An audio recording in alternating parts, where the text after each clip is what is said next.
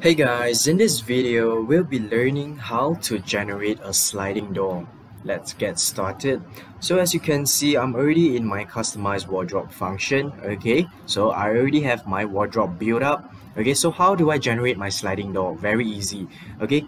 So click on to the bottom of your cabinet, alright? Always start from the bottom. Click on to the bottom and then right click, select sliding door and then sliding door generation, okay?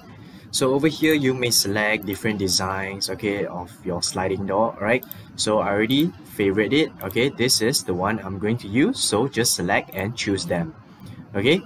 So as you can see, my sliding door has already been generated. Okay, it's simple as that. Alright, good luck trying guys.